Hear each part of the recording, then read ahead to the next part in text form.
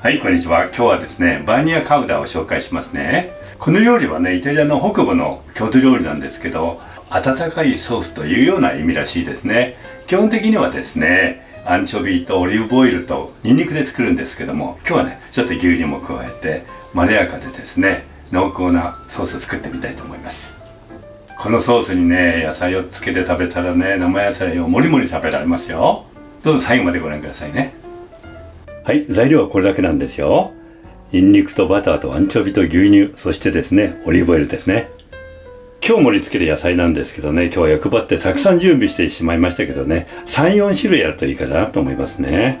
それからこのアスパラの皮の剥き方をですね後で紹介しますね。それじゃ始めますよ。まず最初にニンニクを半分に切って芽を取り除いておきます。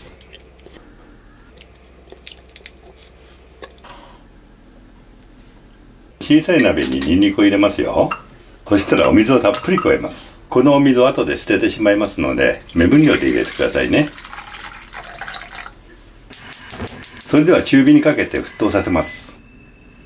沸騰したら弱火にしてですね3分ぐらい茹でたら茹でこぼしますよ。茹でこぼしというのはね渋みやえぐみを取るために茹でて茹で汁をね捨ててしまうんですよね。今日はねニンニクの匂いやアクを取るためにこうして茹でこぼしています。そしたらニンニクを鍋に戻してですねもう一度茹でこぼしますよ。お店ではね茹でこぼしに牛乳を使うんですけれども捨ててしまうのがもったいないですよね。ですからお水で十分です。これも大体3分ぐらい茹でますね。ちょっとね竹串を刺してみましょうね。うん。ちょっと刺さる程度ですね。このくらいでいいと思います。そうしたらですね同じように先ほどのザルにとってですね煮汁を捨てますよ。はい3回目ですね。3回目はですね水で茹でこぼさないで牛乳で煮ます。最初は中火で沸騰したら弱火にしますよ。はい沸騰してきましたね。弱火にしてですね次はアンチョビを加えます。アンチョビのオイルも一緒に加えてくださいね。ここから約ね30秒ぐらい煮ていきます。牛乳は吹きこぼれやすいので注意しましょうね。アンチョビがほぐれてソースに馴染んできましたね。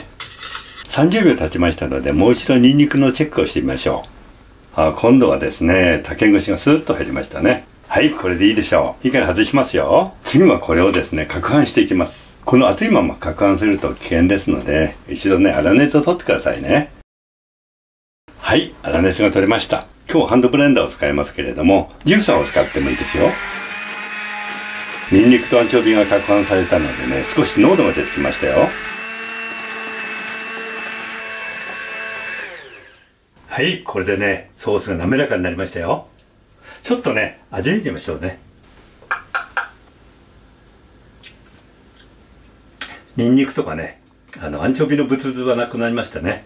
で塩分がちょっと濃いです。でもね今日はですねもう少し濃い方がね美味しいんですね。ですからこれからちょっと味の調整しますね。それから胡椒しますね。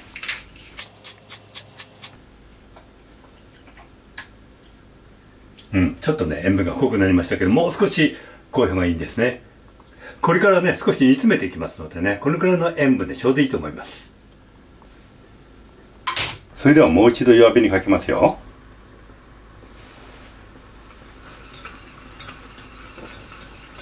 沸騰してきたらですね今度は冷たいバターをですね加えて乳化させます。このまま泡立て器で混ぜるとね簡単に乳化できます。そしたらここで火を止めますよ。最後にオリーブオイルを加えます。ここでよく混ぜておくとね分離しませんよ。もし分離してもね美味しく召し上がりますから大丈夫ですよ。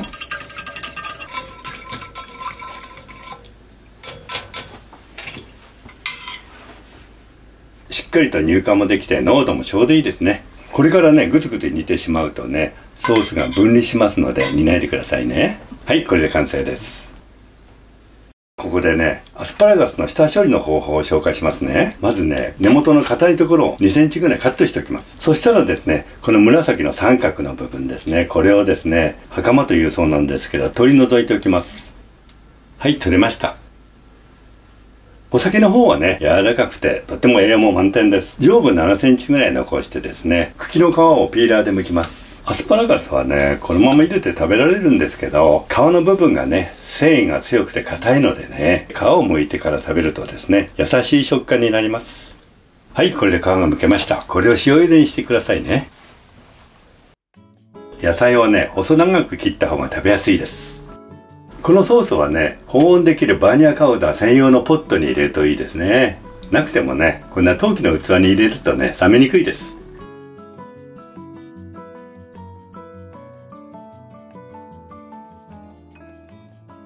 はい、いかがでしたか？とっても美味しいソースができましたよ。